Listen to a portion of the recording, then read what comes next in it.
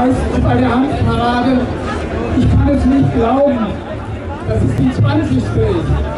Ich war bei den meisten dabei und 20 sind sehr, sehr viel. Waren diese Paraden ohne Erfolg? Ich sage eindeutig nein.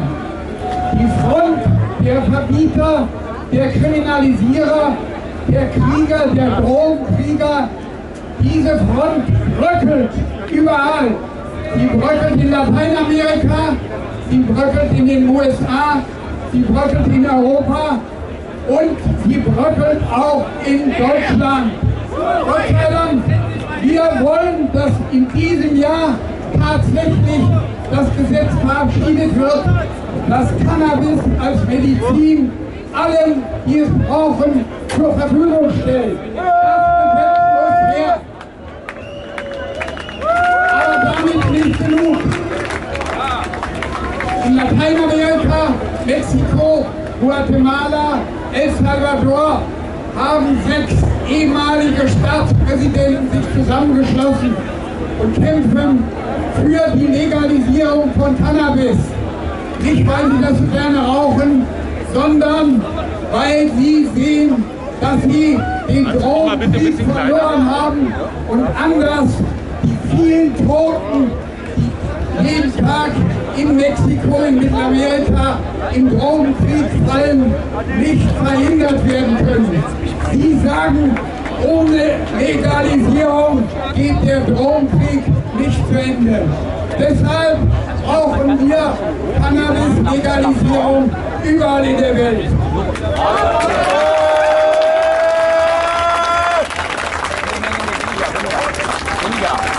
Wir wollen keine Privilegien für Cannabis.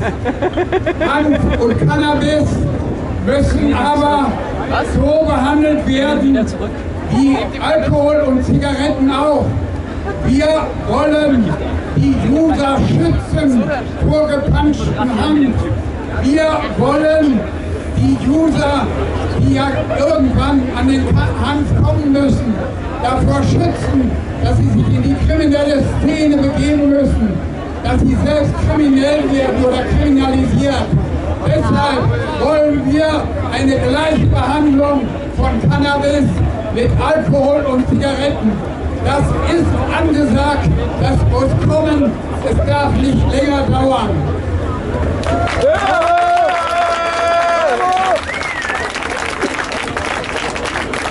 Habe bereits im Jahr 2002 auf der Handparade nicht weit von hier.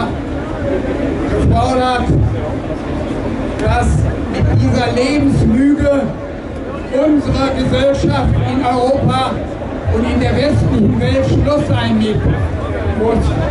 Mit der Lebenslüge, dass Alkohol und Zigaretten ein Lustfaktor sind, für den man sogar werben kann, in öffentlich-rechtlichen Medien werben kann.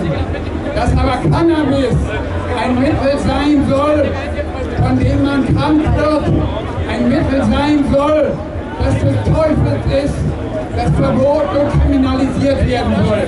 Das ist die Lebenslüge der westlichen Gesellschaft.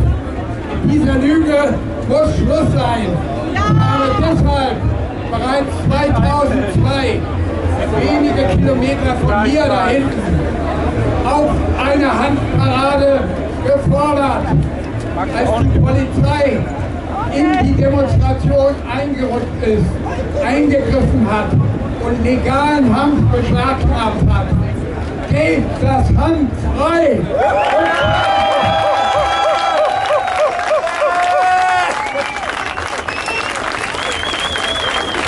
Aus dieser Forderung 2002 ein Song geworden, der sehr viel für die Popularisierung dieser Forderung beigetragen hat. Wir müssen diese Forderung auf allen Wegen nicht nur auf der Handparade umsetzen, dafür werben, dafür Propaganda machen. Wir müssen in kurzen Parolen der Bevölkerung klar machen, warum wir das wollen. Dass es uns nicht darum geht, Menschen möglichst Jugendliche unter Drogen zu setzen, sondern dass es uns um die Freiheit der Menschen geht, so leben zu können, wie sie wollen. Und um die Freiheit, um die Freiheit geht, auch Hanf zu bekommen, der nicht gefährlich ist, der nicht gepanscht ist, der keine Substanzen enthält, die Sucht machen. Das ist unsere Forderung. Deshalb müssen wir, und die wiederhole ich jetzt immer wieder, bis es Fakt ist, bis es durchgesetzt ist, gebt das Hand frei und zwar sofort.